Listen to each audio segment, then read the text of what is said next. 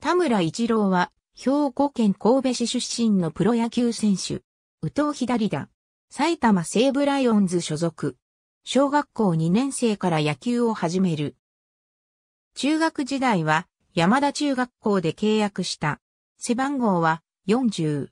2017年は5月7日に1軍に初昇格し、同9日の北海道日本ハムファイターズ戦の9回裏にプロ初登板を果たし1回無失点だった。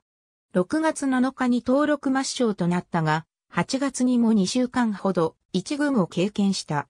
ルーキーイヤーでは1軍に12試合に登板して防御率6.91、2軍では19試合に登板して2勝2敗、防御率2.58の成績を残した。11月25日から台湾で開催される2017アジアウィンターベースボールリーグにおいて NPB ウエスタン選抜に選出されたが事態となった。2018年も開幕を2軍で迎える。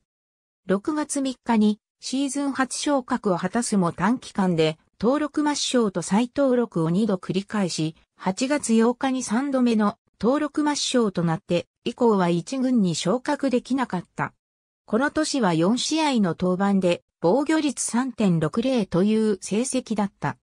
2019年は初めて開幕1軍入りを果たすも6試合の登板で防御率6.14と結果を残せず、4月14日に登録抹消されてからは一度も1軍に上がれずにシーズンを終えた。オフにアメリカのトレーニング施設ドライブラインベースボールへ派遣された。2020年は2年連続で開幕1軍入り。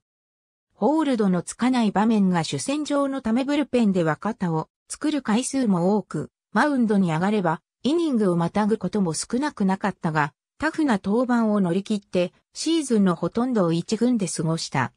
自己最多の31試合に登板、41イニングを投げて防御率3.95という成績を残した。2021年も開幕1軍入りを果たしたが、結果を残せず5月2日に登録抹消。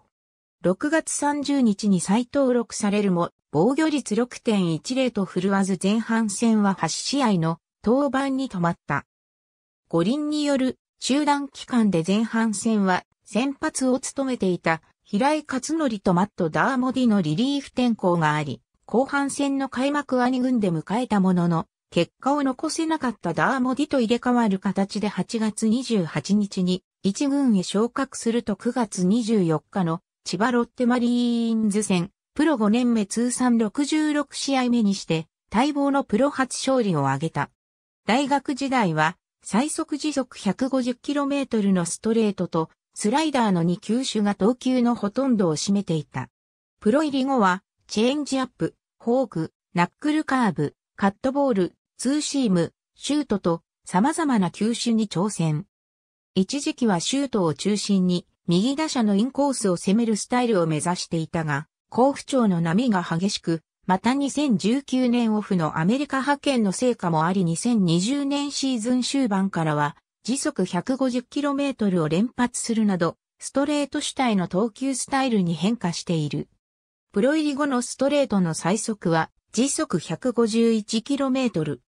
高校の先輩にあたる大谷智久を目標としている。中学時代から非常に成績優秀で、兵庫高校を目指せる学力があったという。